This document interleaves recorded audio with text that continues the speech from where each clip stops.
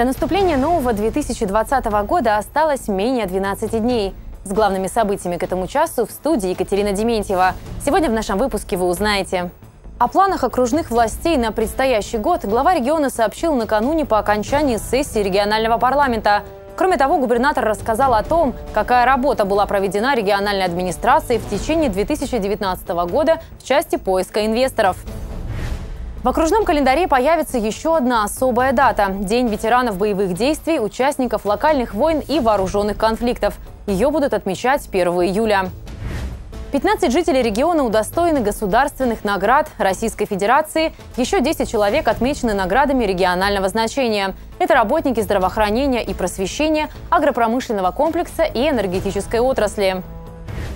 «Сердце сердцу весть подает». Под таким названием в Ненецком краеведческом музее открылась выставка, посвященная празднованию Нового года и Рождества. Об этих и других событиях в ближайшие 20 минут. Глава государства Владимир Путин провел большую пресс-конференцию. Этого события ежегодно ждут журналисты, ведь попав на мероприятие, у каждого появляется уникальный шанс задать свой вопрос. Для этого участники пресс-конференции готовятся основательно – вплоть до того, что приносят с собой музыкальные инструменты. Однако пройти в зал с дуделками и пищалками для привлечения внимания нельзя. Поэтому каждый придумывает, чем и как привлечь внимание президента. О закулисье пресс-конференции и вопросах, которые волнуют регионы, расскажет Мария Владимирова. Это пресс-конференция главы государства Владимира Путина уже 15-я по счету. На нее аккредитовано рекордное число журналистов, около двух тысяч человек. У каждого заготовлено не по одному вопросу, следовательно, несколько тысяч вопросов для главы государства. Понятно, что в рамках отведенного времени на пресс-конференцию ответить на все он не сможет. Поэтому до начала мероприятия журналисты друг у друга берут интервью и спрашивают, что волнует конкретные регионы, с какими вопросами приехали сюда. За кулисье пресс-конференции похожи на одну большую съемочную площадку площадку. Журналисты борются за каждый свободный сантиметр павильона Центра международной торговли для записи интервью, выискивая интересные плакаты или необычные костюмы. Александра Шеломцева из Нижнего Новгорода пришла с елкой. Ее вопрос касается оформления разрешения на вырубку ели к Новому году через сайт госуслуги. Чтобы сделать это сегодня, нужно потратить как минимум один рабочий день. Все делается в рабочее время, в будни. И ты... Я делала так в том году, действительно потратила около 6 или 7 часов. Можно ли как-то упростить этот процесс? Вот такой у меня вопрос. А вот уфимские коллеги придумали для президента не один вопрос. От такого, есть ли у главы государства двойник, до более серьезных – увеличение строительства в России центров для онкобольных. В частности, речь идет о центрах ядерной медицины. Сейчас в стране таких чуть более десяти. Первый вопрос касательно ядерных э, центров, центров ядерной медицины. Их э, в России не так много. Один из центров есть в Уфе, но очень трудно туда попасть, потому что из соседних регионов приезжают э, люди и тоже встают в очередь в центр наш. И вот хотелось бы узнать, как на федеральном уровне будут оказывать поддержку, может, в рамках нас проекта Тема медицины и образования, поддержки семей и людей высокого возраста, а также экологии – одни из ключевых. О мусорной реформе свой вопрос подготовили наши коллеги из Архангельска. Мы будем надеяться, что вопросы и так будут решаться, несмотря на то, что вопросы из вот нашего северного, северо-западного федерального округа только Ленинградская область сумела задать тоже, кстати, как раз про экологию. Но, тем не менее, будем надеяться, что и у нас все будет решаться, уже решается, и в Наринмаре тем более. В центре внимания и предстоящий юбилей Победы в Великой Отечественной войне. Вопрос по этой же теме и у журналиста из Ненецкого округа Ольги Крупинье. Задать его главе государства не удалось. Однако в интервью нашему каналу корреспондент газеты «Медведь Заполярье» рассказала, что вопрос касался изменений критериев законопроекта, который глава государства внес в Госдуму об учреждении звания «Город трудовой славы». Посмотрев условия, э, кто и критерии, по которым э, выбираются теперь города трудовой славы, мы поняли, что э, наши маленькие северные города, в том числе Нарьянмар, не подпадают под эти критерии. А, конечно, это обидно, потому что мы понимаем, что Север внес ничуть не меньший вклад в дело победы. Это да даже Ненецкий округ. Это и лесозавод, и рыба, которая шла на фронт, и оленина, и оленотранспортные батальоны и самолет капитана Тарасова. Конференция, которая длилась в этом году более четырех часов, и это рекорд, удалось задать 77 вопросов. В целом же, отмечают в кулуарах журналисты, итогом ежегодной пресс-конференции они довольны. Мария Владимирова, Владислав Носкин, телеканал «Север», Москва. Губернатор округа Александр Цибульский подтвердил намерение окружных властей начать строительство в следующем году школы-сада в поселке Нельминос, завершить строительство школы номер 3 в Нарьинмаре и начать образовательный процесс в уже построенной новой школе в Индиге. Кроме того, Александр Цибульский заявил о том, что в 2020 году планируется построить фельдшерско-акушерские пункты в девяти селах региона. О планах окружных властей на предстоящий год глава региона сообщил накануне по окончании сессии регионального парламента. Кроме того, губернатор рассказал о том, какая работа была проведена региональной администрацией в течение 2019 года в части поиска инвесторов для реализации на территории Ненецкого округа крупных инфраструктурных проектов и привлечения в бюджет округа федеральных средств. Я когда приехал в регион, помню, был такой проект «Порт Индиго», да, я, я, честно говоря, мне казалось, это такое очень важное прорывное направление экономики округа потенциально, но не понимал, почему с таким скепсисом все относятся к этой идее. Потом понял, да, потому что, оказывается, уже 40, 40-х годов все обсуждают строительство порта Индиго, и все время это остается в виде, значит, незавершенных, незавершенной идеи. Хочу вам доложить, что в этом году я поменял подход. На самом деле я за два года прошел практически всех людей, кто э, в нашей стране способен построить объект такого размера, рассказывал, объяснял. Действительно, сегодня, пожалуй, все сошлись во мнении, что Индиго – это такой ну, краеугольный камень с точки зрения выхода на Северный морской путь. И сегодня, я вам хочу доложить, уже есть реальный инвестор, который, и вы об этом знаете, корпорация «Айон», во главе этого холдинга инвесторов, которые уже вложили первые 60 миллионов доработку проектно-сметной документации и в первое уже обследование территории. Сейчас уже консолидировали еще 200 миллионов рублей на следующий год и, по сути, уже выходят к проектно-сметным работам и э, будут выходить на уже, уже на территорию. То есть в следующем году мы увидим их уже реально работаем. Этот проект получает абсолютно практические границы, практическую окраску. Кроме того, губернатор сообщил о привлечении порядка 5 миллиардов рублей из федерального бюджета на реконструкцию аэропортов в Амдерме и Наринмаре. Еще 2 миллиарда рублей в этом году федеральные власти направили на продолжение строительства дороги Наринмар-Усинск. Эти средства мы получаем на условиях своевременного выполнения ранее заявленных планов по строительству дороги, добавил губернатор. Александр Цибульский затронул также вопросы вопросы жилищного строительства на территории округа. Я думаю, что вы все видите, что объекты строятся. А, несмотря на ту критику, которую на вас сказали, мы действительно просили подрядчиков многих завершить строительство полностью до конца этого года, но хочу всем еще раз сказать, это были наши просьбы к подрядчикам, реальные контракты с подрядчиками двухлетние. И я и убеждал в конце прошлого года и продолжаю это делать по итогам этого года, что цикл строительства на Крайнем Севере с учетом нашей логистики составляет два года. И заставлять нас делать за год то, что нереально, мы не можем. И в этом году даже э, ну, уже вплоть, идем вплоть до отказа подписания соглашений, поскольку ну, на практике поняли, что мы не можем переварить за один год такой объем строительства. Тем не менее, большая часть объектов находится в высокой стадии готовности, и некоторые из них, в общем, э, будут сданы. Э, и за это огромное спасибо подрядчикам, которые, которые к этому подошли, э, подошли таким образом и, по сути, ударным трудом нам э, сделали пятилетку за два года.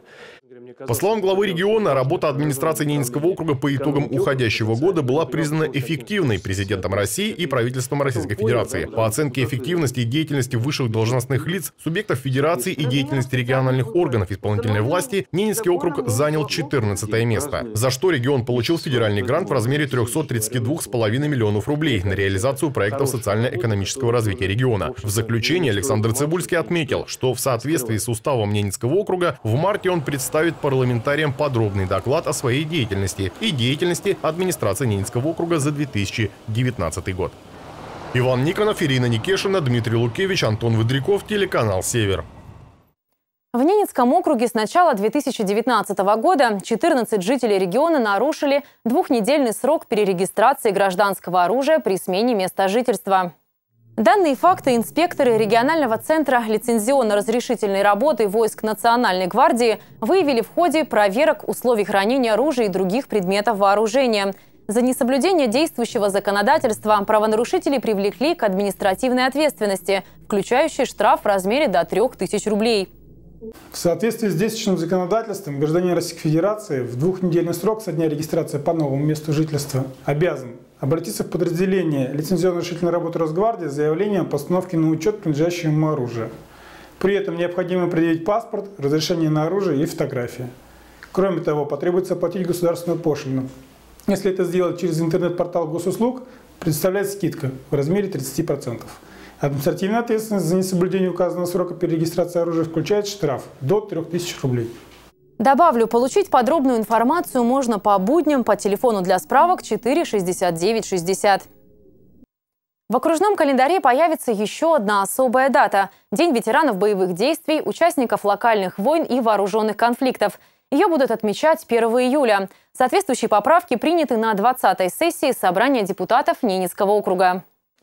Как отметил инициатор закона депутат Андрей Ружников, законодательное закрепление этого дня имеет большое значение для тех, кто защищал Родину в локальных войнах и вооруженных конфликтах. Мы очень благодарны моим коллегам, э, законодательной власти, а также за поддержку э, губернатора Александру Витальевичу. И буквально сегодня я разошлю во все субъекты России наш принятый закон. И очень надеемся, что наши коллеги в других субъектах отклик, э, откликнутся и э, помогут принять эту дату. Ну, а дальше мы планируем уже выходить на федеральное собрание для того, чтобы узаконить уже 1 июля Э, День ветерана боевых э, действий на территории России. В настоящее время на территории Ненецкого округа проживает более 500 ветеранов боевых действий, участников локальных войн и вооруженных конфликтов, а также три семьи погибших участников боевых действий. На этой же сессии парламентарии региона сразу в двух чтениях приняли поправки в закон о бесплатной юридической помощи – Речь идет об упрощении процесса подачи инвалидами необходимых для этого документов. До принятия изменений государственные и муниципальные услуги предоставлялись на основании сведений об инвалидности, содержащиеся в Федеральном реестре. При этом инвалиду необходимо было предоставить документ, подтверждающий данный статус. Теперь при наличии соответствующих сведений в Федеральном реестре предъявлять данный документ не требуется. То есть в соответствии с э, нашими поправками теперь люди с ограниченными возможностями, которые будут обращаться в Госюрбюро за теми или иными услугами, э, они э, смогут воспользоваться значит, услугами, услугами без представления документа на бумажном носителе, так скажем, этой справки, если данные сведения содержатся в едином федеральном реестре да, по инвалидам. Ну и вообще Подчеркну, что собрание депутатов совместно с органами исполнительной власти, администрации проводят э, плановую работу э, по приведению законодательства окружного э, значит, в соответствии с федеральным в, части, в той части, чтобы люди при предоставлении тех или иных услуг государственных, муниципальных не представляли эти справки на бумажном носителе. То есть... В Нарьинмаре прошла торжественная церемония вручения государственных наград жителям Ненецкого округа с участием главы региона – Наград Российской Федерации удостоены 15 жителей округа. Это работники здравоохранения и просвещения, агропромышленного комплекса и энергетической отрасли. Еще 10 человек отмечены наградами регионального значения. За заслуги в укреплении Института семьи и воспитания детей медалью ордена «Родительская слава» награждены Надежда Николаевна и Алексей Поликарпович Латышевы. Супруги живут в Неси, вместе они уже 27 лет, воспитали трех сыновей и дочь. Их семья является хранительницей крепких семейных традиций. С детства дети приучены к труду, дисциплине и взаимопомощи. В семье бережно сохраняется культура ненецкого народа, обычаи и традиции бережно передаются из поколения в поколение. Медалью ордена «Родительская слава» удостоены также Вероника Ивановна и Федор Георгиевич Талеевы из Нарьинмара, которые воспитывают 11 детей. Жизнь семьи тесно связана с народным ненецким ансамблем «Хаяр» «Солнце», где и познакомились родители. Дети с удовольствием изучают ненецкие песни и танцы, представляют зрителям вокально-хореографические зарисовки на стихи ненецких поэтов с элементами театрализации. Фельдшер поселка Нельминос Наталья Семяшкина удостоена почетного звания «Заслуженный работник здравоохранения». Преподаватель детской школы искусств Галина Медведкова, музыкальный руководитель детского сада поселка Красная Марина Рассохина и директор Ненецкого краеведческого музея Елена Меньшакова получили из рук губернатора почетную грамоту президента Российской Федерации за заслуги в области образования и многолетнюю добросовестную работу. Благодарность президента Российской Федерации получили педагоги Ольга Горбунова, которая работает заместителем директора школы номер два в Нарьянмаре, преподаватель детской школы искусств Альбина Загитова, педагог телевисочной школы Владимир Паюсов и учитель ненецкого языка Ненецкой школы имени Антона Пырерки Матрена Талеева. Благодарностью правительства Российской Федерации за большой вклад в развитие агропромышленного комплекса и высокие трудовые достижения отмечен коллектив акционерного общества «Мясопродукты», в ходе мероприятия губернатор также вручил ведомственные награды Министерства цифрового развития, связи и массовых коммуникаций Российской Федерации и почетные награды регионального значения. Обращаясь к участникам торжественной церемонии, глава региона Александр Цибульский отметил неоценимый вклад каждого награжденного в развитие региона. Традиционно в конце года мы подводим его итоги, личные и профессиональные. Я должен сказать, что именно из ваших успехов и складываются успехи нашего округа, успехи ваших профессиональных команд и благополучие ваших семей. Позвольте мне выразить вам искреннюю благодарность от лица президента Российской Федерации, правительства Российской Федерации, от лица жителей Ненецкого автономного округа, ну и от себя лично. Сердце сердцу весть подает. Под таким названием в Ненецком краеведческом музее открылась выставка, посвященная празднованию Нового года и Рождества. На выставке также представлены материалы из фондов Национального музея Республики Коми. Среди представленных экспонатов – иконы, фотографии, елочные украшения, рождественские новогодние открытки разных лет, предметы быта и многое другое – Название экспозиции пошло от названия первой рождественской открытки, выполненной в 1898 году известным мастером силуэтного рисунка Елизаветой Бем.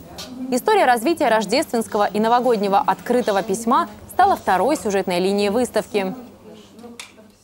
И дело в том, что «Сердце сердцу весь подает». Такие слова были написаны на первой рождественской открытке, которая была выпущена в России. Это произошло в 1898 году.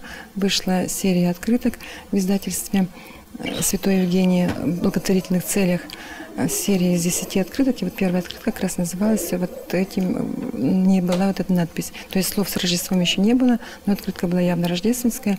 Вот это вот «сердце сердцу весь подает». У этого выражения есть продолжение. «Сердце сердцу весь подает» и ждет ответа. Посетить выставку можно до конца января. Также можно заказать по ней занятия и узнать много интересного про приближающиеся праздники Рождество Христово и Новый год. И вновь мы возвращаемся к проблеме бродячих животных. К нам в редакцию поступает множество просьб посвятить эту тему. На героя нашего сюжета напали собаки, но, как оказалось, не бесхозные. Хозяева, не найдя время на прогулки с питомцами, попросту выпускают их на самовыгул. Подробнее расскажет Наталья Кислякова. Сергей – ученик второго класса школы поселка Искателей. На мальчика, который возвращался домой с учебы, напали собаки. К счастью, Сергей отделался испугом. Они бегали вокруг меня и гавкали. Одна собака подбежала совсем близко и хотела меня укусить. Но я махнул рукой. Она испугалась и отбежала. Когда она отбежала, остальные три, две собаки от, отбежали с, вместе с ней. Когда они ушли, я пошел домой. Я очень испугался. Причем Сергей знает хозяев этих собак. Они попросту находятся на самовыгуле. Такая тенденция растет с каждым годом. Социальные сети и информационные агентства пестрят новостями о летальных исходах после множественных укусов собак по всей России. Каждый год в городскую поликлинику обращается от 35 до 40 пострадавших, большая часть из которых – дети. С этой проблемой, которая есть в нашем округе, мы сталкиваемся еженедельно, потому что к нам обращаются люди в связи с тем, что страдают на улице от бегающих собак, от неизвестных хозяев, что дети, что взрослые. Мы оказываем помощь в поликлинике, а также оказываем круглосуточную помощь на приемном покое как взрослым, так и детям. А, дело в том, что большинство собак, которые не привиты беспризорные, могут быть переносчиками заболевания бешенства. А это, в общем-то, чревато последствиями вплоть до смертельных. Добавлю, по статистике за 2019 год по всей России пострадало от укуса животных 287 тысяч человек. Около 30% из них – дети. Наталья Кислякова, Антон Водряков, Вадим Стасюк, телеканал «Север». Такова информационная картина этого дня. Далее смотрите прогноз погоды.